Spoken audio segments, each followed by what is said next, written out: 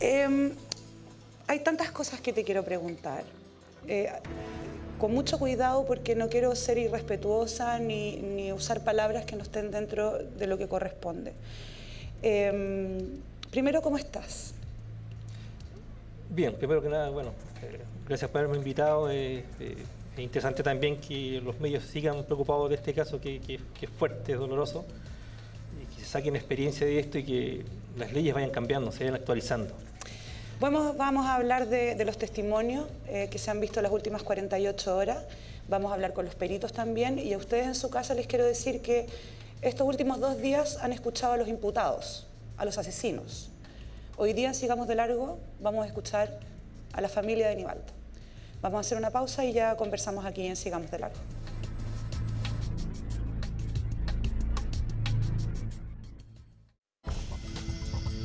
Estamos de regreso aquí en Sigamos de Largo, en este íntimo con Leandro. Eh, el 10 de agosto del año pasado, la vida de ustedes cambió, me, imagino que para siempre. Eh, si pudieras resumirme cómo fue ese día, cómo te enteraste, qué te hizo sospechar de que a, tu hermano le había pasado algo grave. Bueno, yo, yo, yo supe el día, eh, la madrugada, prácticamente el domingo. Yo, en mi turno que tengo de trabajo, yo salgo a las 1 de la mañana prácticamente, del día sábado. En ese día yo salgo del trabajo, llego a la casa y me estaba acostando ya con mi señora y me dice que mi hermano no había llegado a la casa. Eh, me preocupé, porque le dije día sábado, si fue con un lado, y dos o cuatro horas que no ha llegado a la casa, para mí me preocupó. Entonces me acosté yo y me dice, no, fue el viernes. Cuando me dijo que era el viernes para mí era una hora, o sea, era un día completo, no, yo me puse a llorar, o sea, me corrían las lágrimas y le dije a mi señora, no, lo, lo mataron. Lo mataron porque... pensaste Sí, eso? porque nosotros como familia no existe esa diferencia, ¿verdad? imposible, siempre estamos comunicados. Siempre un hermano se va a atrasar algo, va a decir, hermano, estoy en tal lado, voy a llegar en tal hora, me voy a quedar con alguien. Entonces, cuando pase una hora, un día completo sin comunicación, yo dije, no, no, no lo mataron. Algo le pasó. Algo le pasó y, y, y, y no teníamos duda. Yo por lo menos dije, no, la Joana. Porque lo más oscuro que, que teníamos en este momento era Joana, porque ella empezó a publicar esas fotos que tenía con Francisco, siendo que ella era la esposa de mi hermano, estando viviendo juntos. Eh, bueno, nos fuimos a, a, a ese tema. La, la, historia de Joana con tu hermano es una historia de, de, larga data, digamos. ¿Tu hermano sabía que ella estaba con otra persona? Que... No, él supo cuando se publicó esa, esas fotos que ella, Joana la publicó a, a, a la familia, a las amistades, y como dije, he dicho en otros medios, eh, eh, esa comunicación también los tenía conectados a, a, familiares nuestros. Y de ahí supimos lo que estaba pasando. ¿Y tu hermano estaba muy enamorado de ella? Ella, sí, yo que yo estaba enamorado o confía mucho en, en, recuperar la familia que tenía con ella, que la, la niña tenga a su mamá. Eh, por eso él, él, él, la siguió frecuentando. Acá todos nosotros hablamos con él diciendo, hermano, ya, ya eso ya era ya. Yo hablé con él personalmente, le dije, hermano, ya tú eres una persona inteligente, debes pensar ya con la mente, porque es bien lógico, y ya no con el corazón. Hay muchas mujeres que sí quieren formar una familia como corresponde. Él me decía que sí, quería que sí y, y, y, y tenéis que cambiar, no me eligió, tienes que cambiar eso, lamentablemente, si ya, ya Giovanna ya tiene su, otra persona. Ella habla eh, de que ella era una persona depresiva, que incluso había atentado contra su vida en algún momento. ¿Ustedes sabían que ella tenía alguna condición psiquiátrica? que No, no, no, y volviendo al, al tema real actual, eh, se demostró que ella era una persona mentirosa, igual que Francisco. Entonces, inclusivemente ayer en el juicio, eh, el mismo abogado de, Fran, el abogado de, de Francisco le, en un momento que ella dice que trató de suicidarse, le dice, pero ¿por qué te cortas en el, en el antebrazo? Ella misma dice que por rabia nomás, pero ella sabía, cuando estaba consciente, con esa herida no se iba a morir. O sea, nunca se trató de suicidar. Eh, cuando te di la bienvenida te agradecí porque sé que hoy día fue, ayer y hoy han sido días eh, muy particulares para usted. Eh, entiendo que estabas hoy día en los tribunales, en las declaraciones de, de sí. Joana y de Francisco. ¿Qué te parecieron? ¿Qué, qué, te, ¿Qué, te, pasa cuando escuchas a las dos personas que tú sabes que están involucrados en la muerte de tu hermano? Eh, bueno, primero que nada, el hecho que ya partimos con el juicio real, por parte mía y de familia, ya hay una tranquilidad.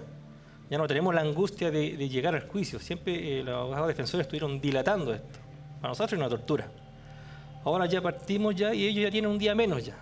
Ya apareció el juicio, son 17, ya le han quedado 16. Ya vamos a llegar al juicio definitivo que es el que esperamos nosotros.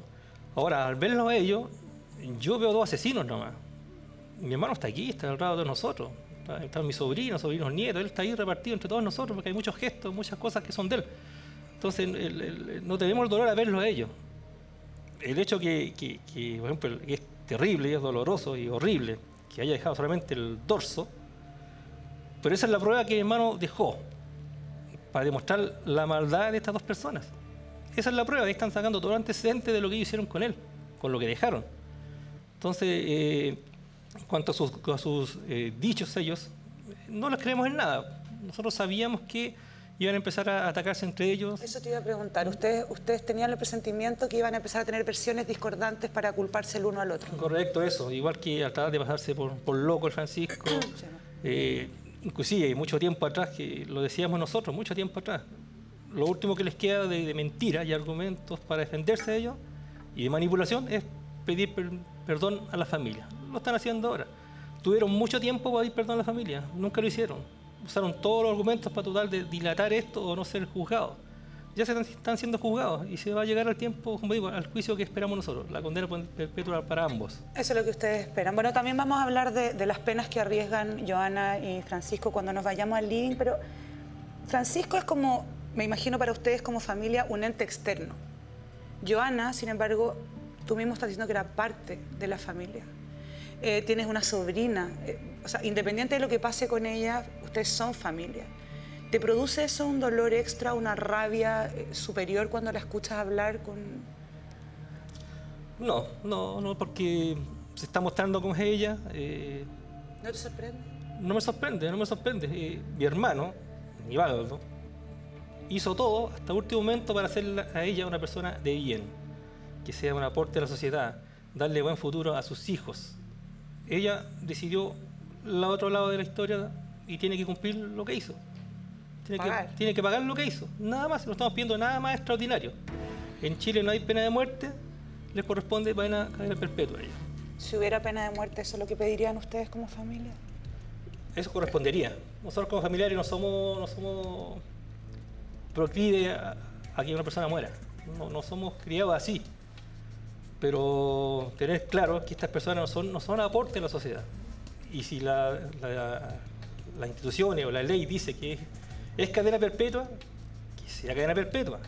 No pueden tener algún tipo de libertades. Ni beneficio. Ningún beneficio, porque en este momento, yo he dicho varias veces, en Chile no existe la pena de muerte. El, Estado no va a matar a nadie. Como dos personas particulares juzgan a mi hermano y lo ejecutan. Entonces la sanción debería ser superior con ese nivel de ensañamiento. Además, bueno, para los que no han tenido la oportunidad de ver parte del testimonio de Joana, acá tenemos un pequeño momento. Francisco empezó con el asunto de que Nivaldo no debería existir, que lo iba a hacer desaparecer. Yo no le tomé importancia, eh, más que nada porque si bien este tipo de hombres que nos pegan a nosotras son muy machitos con nosotras, pero no son capaces de pararse con otro hombre igual. Prende un cigarro y me dice, ¿te acuerdas lo, lo que te hiciste cuando te trataste de suicidar? Yo le dije, sí. Ya me dijo, exactamente eso le va a pasar a Aníbal ahora. Yo lo quedé mirando, me dijo, sí, para eso el, el pote que te entregué con los clonazepam molido. Yo seguía manteniendo llaves. Eh, lo ayudé a bajar las cosas del auto, él traía sushi, traía para preparar malta con huevo, que era como era lo que tomábamos nosotros, que era como lo que él sabía que era uno de los tragos que me gustaba. Estaba corriendo el tiempo, le eché la esto lo del pote y subí rápido, así que nos pusimos a comer sushi. Ivaldo se tomó la malta, yo me tomé mi vaso. Y alrededor de los 5 minutos, 10 minutos, Nivaldo ya no coordinaba sus movimientos se quedó dormido, casi cayéndose de la cama. Le saqué la primera foto que fue la que le envié a Francisco, eh, donde sale estirado en la cama y con un sushi en la boca. Francisco llegó, entró, yo estaba abajo, dejé a Aníbaldo durmiendo arriba y estaba abajo. llegó con una mochila, me pasó unos guantes de procedimiento y me dijo, ahora ponte a limpiar todo lo que tocaste. Subió. Fue dos minutos, tres minutos, que se escuchó golpe, como caía en las paredes, en el suelo. Y escuché cuando Nivaldo dijo, ¿qué, hacía? Después de eso bajó Francisco todo ensangrentado y le digo, ¿qué hiciste? Quedé en estado shock. Me dijo, quédate tranquila, préndeme un cigarro. Limpié todo lo que era la cama. Entre que lloraba, que me quedaba, me sentaba, me volvía a parar. Limpié todo con ropa de cama, con sábanas, frazadas, todo lo que encontré en el, en el closet que teníamos en bolsa.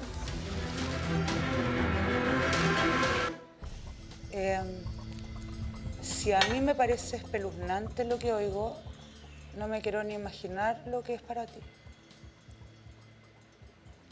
No, para nosotros es fuerte. Pero nosotros siempre pensamos y estamos seguros que es peor lo que hicieron. Es peor. Tuvieron mucho tiempo disponible el cuerpo de mi hermano, no sé qué más barbaridad hicieron, jugar, no sé qué hicieron con él, con su cuerpo. Entonces, nosotros siempre vamos más allá porque sabemos la calidad de personas que son, la maldad que tienen. ¿Piensas peor incluso de lo que ya nosotros sabemos como opinión pública? Sí, yo pienso que es peor. peor. Leandro le, le puso un pedazo de sushi en la boca y le sacó una foto. Sí. Entonces, el, nivel de maldad que ellos miran en menos a, cualquier otra persona, eh, por eso decimos nosotros, son un peligro para la sociedad, no pueden tener ningún tipo de beneficios, deben ser condenados en forma ejemplar deben las leyes empezar a, endurecer. No es capaz que gente de este tipo de, categoría, decirle, por decirle persona, eh, eh, tenga algún tipo de beneficio. No puede ser. Eh, yo comentaba un poquito antes de que empezáramos la entrevista que sí me llamaba mucho la atención que ni siquiera ellos tuvieran alguna palabra para hablar mal de tu hermano. Al parecer tu hermano es una persona intachable, correcta, buen padre, buen marido tratando de entender que una pareja quiera deshacerse de un tercero, sin comprender el ensañamiento y la maldad con lo que lo hicieron.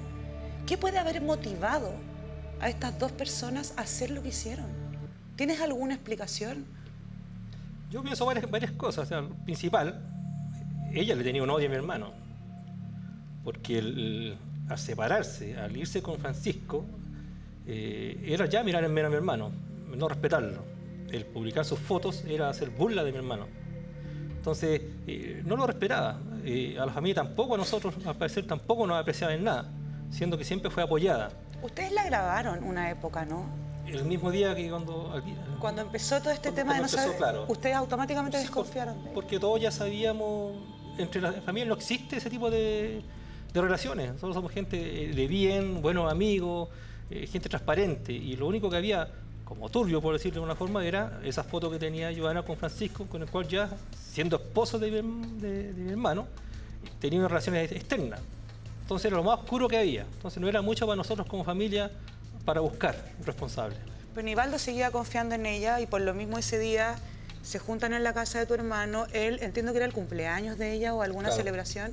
Y tu hermano encima, compra eh, comida para celebrarla. Sí, porque ella en su manipulación, esos intentos de suicidio que eran falsos, que ella con los conocimientos que tiene, se mata una inyección o una droga, ya tiene clarito lo que tiene que hacer, como lo que hicieron con mi hermano. Entonces él le decía que Francisco la golpeaba y que quería empezar a reintentar. Con Nivaldo. Con Nivaldo. Entonces ese fue el engaño. Para mí otros días tienen que haberse juntado para empezar a tramar todo esto. Y ese día era el día final en cual ellos decidieron asesinar, quitarle la vida o robarle la vida a mi hermano. Además, eh, como le estaba diciendo, mi hermano continuó su vida normal. A lo mejor extrañaba a Giovanna, pero él seguía jugando a la pelota, seguía participando con la familia, seguía yendo con su hija a, la gimnasia rítmica. Él, siguió normalmente su vida. Si tenía amigas, salías con amigas, entonces eso también para mí, para ella debe haber sido eh, porque ella quería tenerlo ahí sometido. Y hermano no, continuó con su vida normal. Ahora, hay cosas que también dije, eh, muchos dirán, mi hermano es, tonto, la gente que hay por fuera.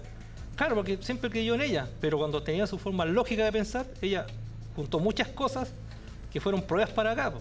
Tenía, por ejemplo, un, un lado, todas las pruebas que tenía Joana cuando de los cursos que hizo de, de por las drogas. Salía todo lo que, lo que las drogas utilizaban ahora, eh, sale- lo que ocupó ahí estaban ahí. Eh, fotos que tiene él. Eh, tiene varios antecedentes que, que, que, que- que son demuestran que ella tenía un curso de, de, manipulación al menos de... Entonces, y todo eso mi hermano lo tenía separado. Cuando hubo una violencia intrafamiliar de, por parte de Joana y mi hermano, también la tenía separada. Entonces, toda esa información, mi hermano, igual, de, una- de Tampoco un- cons- confiaba él 100%. de alguna forma él decía, Juan, puede pasar, no sé, y lo separó. Lo tenía todo en una carpeta separada. Yo eh, te pregunté cuántos hermanos eran, tú me dijiste que eran ocho, Ocho. y ahora quedaban Cinco. cinco. Eh, yo tengo tres hermanos y no puedo creer tu entereza.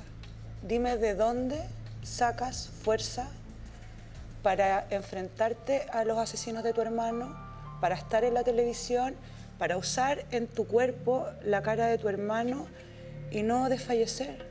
Es, eh, es duro, es duro. Lo que yo sí tengo claro es que mi hermano, o sea, todos tenemos una coraza. Yo tengo una coraza que a veces no aguanto tanto y, lloro. Y es un lloro, un llanto que es, eh, eh, que ahoga. No puedo respirar. Pero mi hermano nos tiene una tarea. Recuperar a la hija, que ya la tiene mi hermano Eston, una princesita que está creciendo como corresponde, se ríe, echa de mucho menos su, su papá, pero entre todos nosotros la estamos protegiendo con puro amor nomás. Y eh, que estos asesinos cumplen. Él ha cooperado, mi hermano ha cooperado. ¿En qué? En que el cuerpo apareciera. Nosotros le decíamos cuando andábamos buscando a mi hermano, la idea nuestra de buscarlo era eh, apurarlos a ellos. Sin nombrarlos, apurarlos, apurarlos, que vieran fotos de él. Por eso nosotros agradecemos a los medios porque esto fue un trabajo entre todos en cómo hacer aparecer a los asesinos culpables. El hecho de que estén mintiendo ellos, el estar que Joana apareciera en los medios, eh, son herramientas que son se utilizan ahora. Ellos cometieron ese error, son pruebas al final, y la gente lo fue conociendo. Usted mucha gente vio y ya no les cree, porque ya están viendo cómo son. Dentro de esta tragedia familiar, eh, ¿tu sobrina es el gran milagro? Sí. Sí, sí, la princesita que está ahí. Hay muchas princesitas que tenemos nosotros. Hay hartas sobrinas y eso. Pero esta hay que cuidarla con mayor cariño. Correcto. Y, y todas las. Ahora, tenemos claro nosotros que hay que tener cuidado con ella, pero hay que tratarla como normal. No sobreprotegerla. Entonces, eh, la besamos, jugamos con ella, la retamos también como Obvio. corresponde y es una niña como todas. Leandro, si tuvieses que dictaminar quién mató a tu hermano, Los dos. en igualdad de En igualdad de condiciones los dos, sí. Sí, fue una cosa entre los dos. Dos personas que son malas, eh, quieren tener cosas en forma... Para ellos, ¿no? es, es poco lo que tiene mi hermano, pero para ellos a lo mejor era un gran tesoro. Y además el hecho de quitarle la vida a una persona que a lo mejor le estorbaba, con maldad, con odio y sin tipo de, de- de remordimiento, ni hasta ahora. Ahora han aparecido los dos, como digo, pidiendo perdón a la familia, pero eh, es un perdón estudiado, leído, no es real. Y nosotros estamos claros en eso. Nunca le creímos y no les vamos a creer.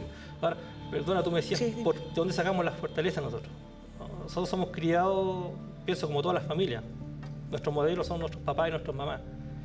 Eh, creemos en instituciones, a pesar de que hay muchas falencias que se han visto, pero creemos en instituciones, tienen que funcionar como debe ser. Hay mucha gente buena en las instituciones, hay puntos negativos, a lo mejor eso hay que separarlo, pero creemos en ellos. Nosotros hemos hecho todo lo posible de, de hacer lo que hacemos dentro de las normas que nos permiten como familia. Hemos cumplido con eso. Ahora, al otro lado del vidrio están los culpables y están instituciones que tienen que cumplir la función que les corresponde. Nada más que eso, cumplir la función que les debe. Bueno, yo nuevamente te quiero agradecer. eh, quiero decirte que al menos como canal nosotros no vamos a abandonar esta causa.